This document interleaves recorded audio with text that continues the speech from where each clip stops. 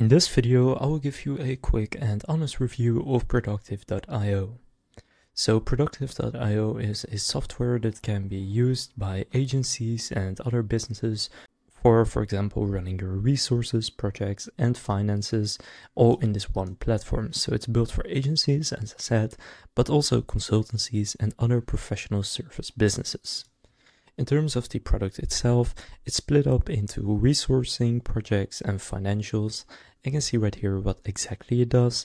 So they have the resource planning, time tracking, you can have your documents, the project management itself. Then also for financials, you have your invoicing, budgeting, forecasting, purchase orders, and more. And it also has some AI features as well as automations, integrations, reporting, dashboards, and SQL reports.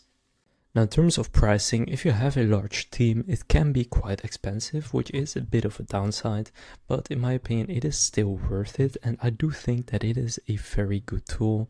I'm not affiliated or sponsored by them or anything like that, but I do think that it is a great software if you are looking to get multiple processes inside of one software that still works very well. So you can see, for example, if you have five users and you want to pay monthly, then it starts at $55 per month, which isn't that much in my opinion. But for example, if you want a professional plan, then it goes up to 140 and the ultimate 195. You can see here who each of these is for and also what it includes. So for example, for growing companies, they recommend the professional plan and they recommend it right here from 10 users and if you have 50 users or more, then they recommend the Ultimate plan.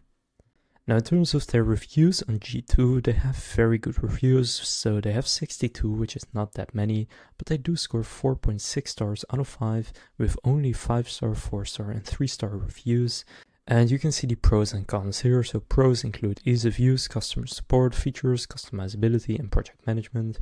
But some of the cons are the learning difficulty and curve, which kind of goes against the ease of use, as well as the complex usability.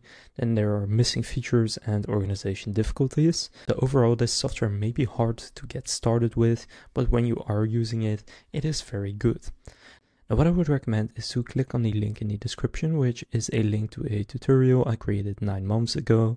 And this is basically just a nine and a half minute video that walks you through the entire software where I show you exactly how to use each feature and that should help you get started.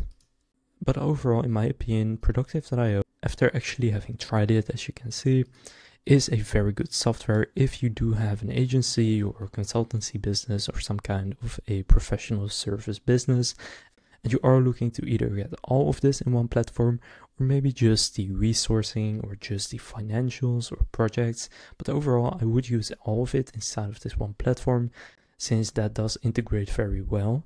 But it also integrates well with other tools so you can see those right here you have tools like Jira, HubSpot, Xero, Zapier, Slack, QuickBooks, and through Zapier, for example, you can connect with over 1000 different apps.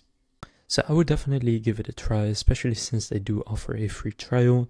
And again, I'll leave a link down in the description to this full tutorial video that I made. If this review helped you make a decision, please consider leaving a like and subscribing to my channel. With that being said, I will see you in the next video.